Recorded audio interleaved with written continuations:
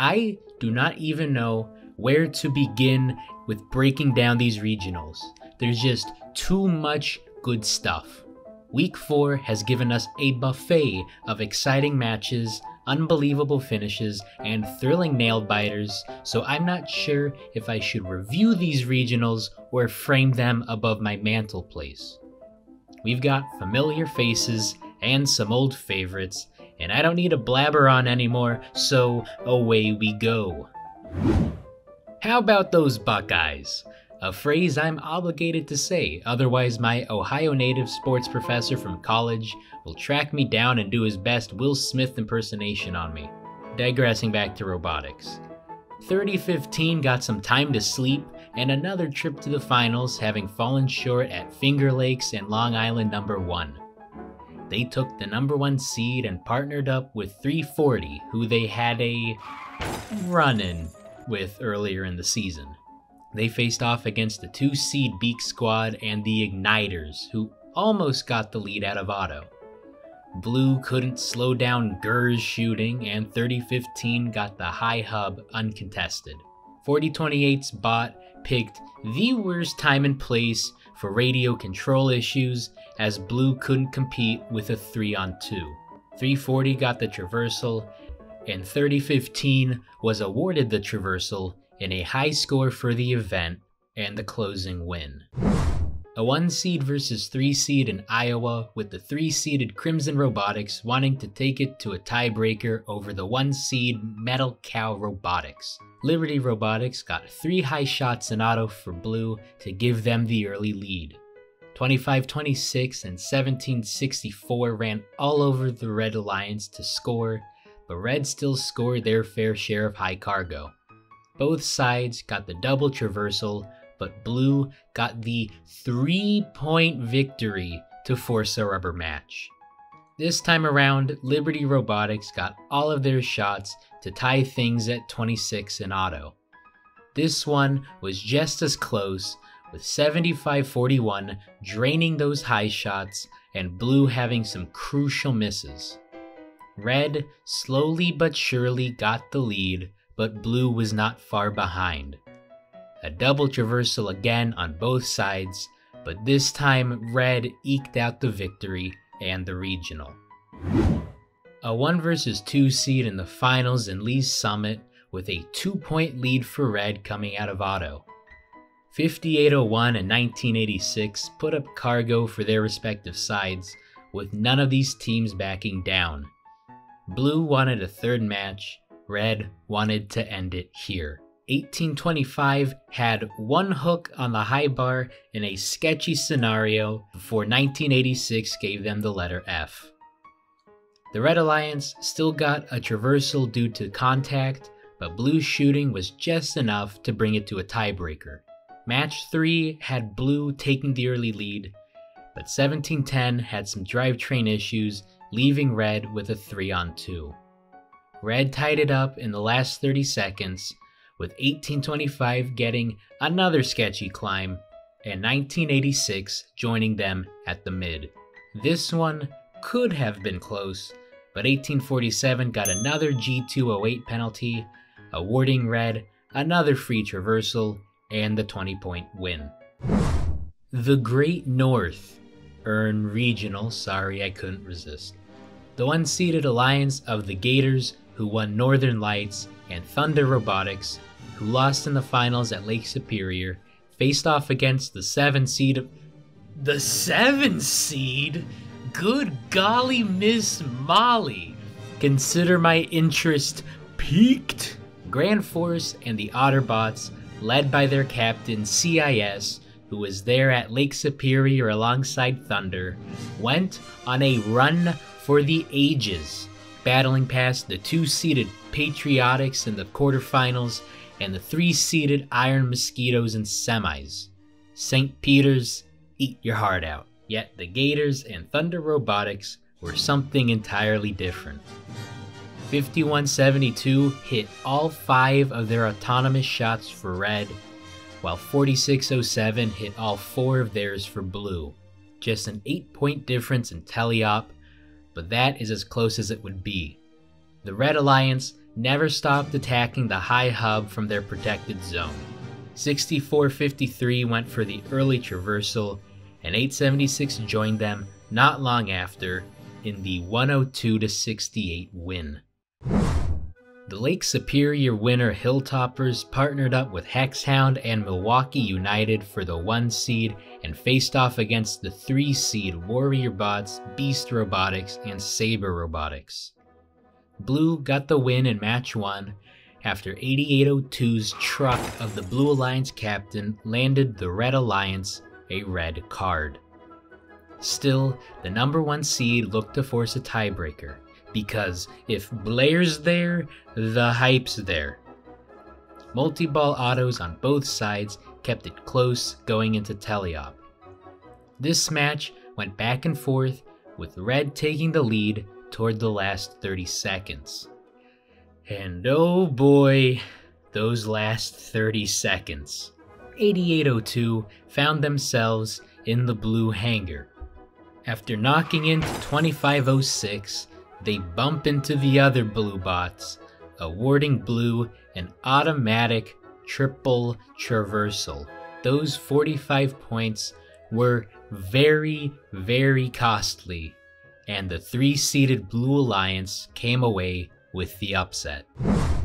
Up-A-Creek Robotics won Oklahoma as an undefeated one seed and looked to do the same the next state over. They partnered up with Angel Angelbotics, who fell short at Orange County to the High Rollers. The number one seed faced off against the number two seed of Coconuts and Highlanders, who were there when 1619 won Oklahoma. This was a tied match out of Autonomous, with Angel Angelbotics and the Coconuts both bricking their last two shots. Red made this match theirs with accurate shots and shutdown defense. Up-A-Creek got up to the traversal, while the Highlanders just couldn't get there. Red took the second match 101 to 79. Goose Egg Alert!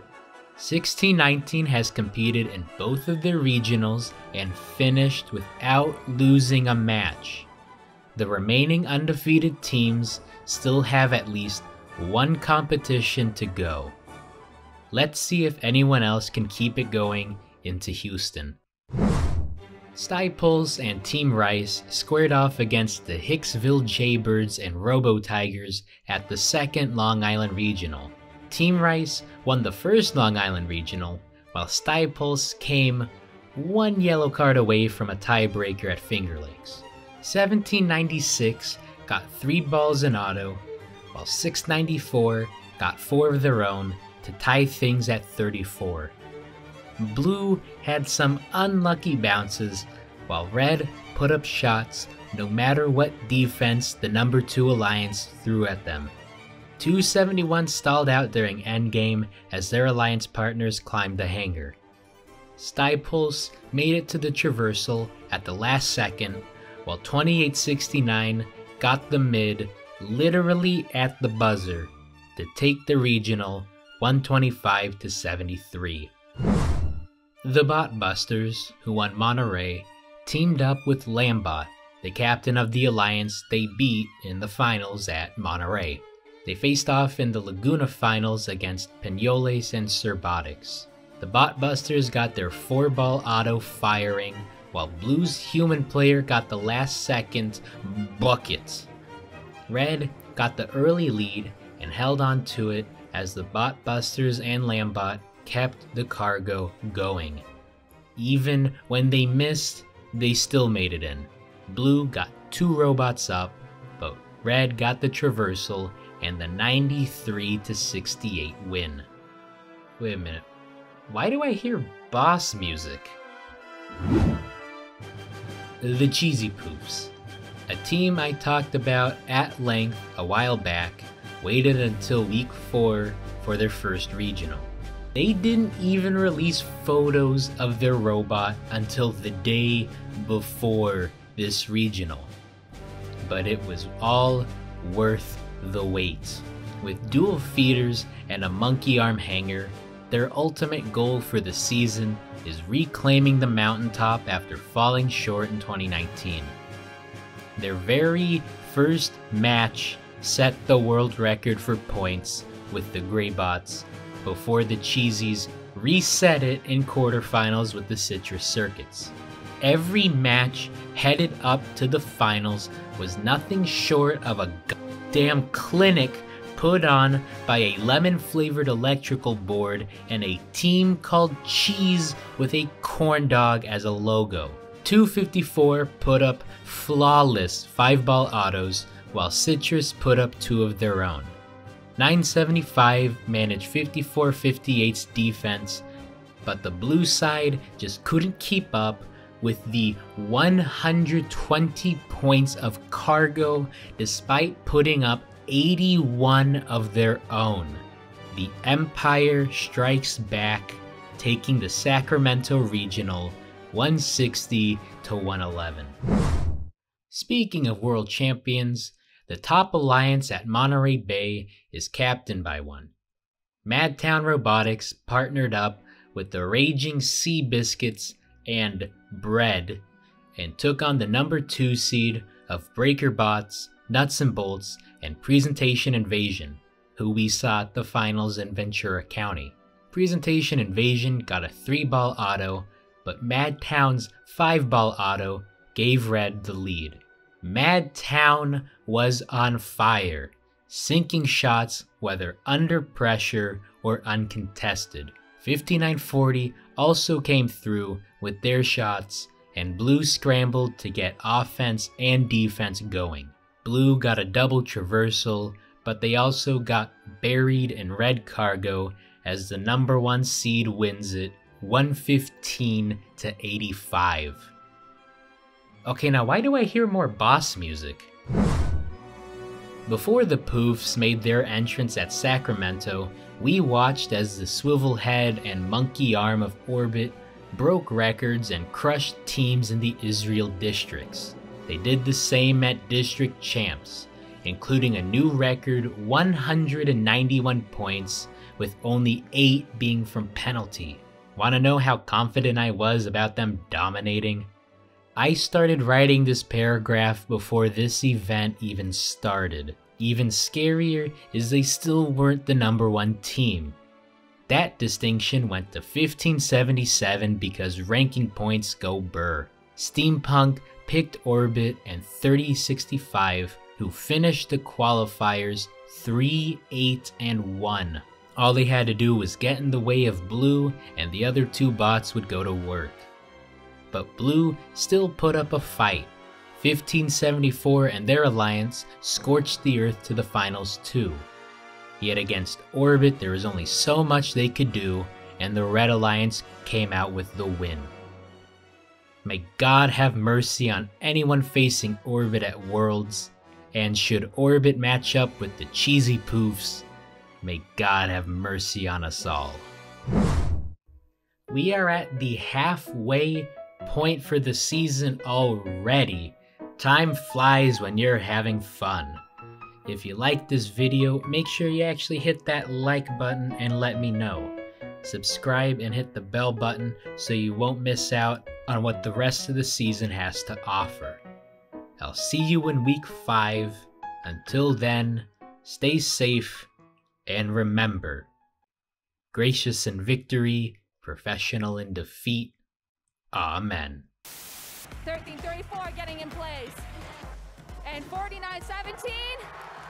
4907 makes it up right before the whistle blows.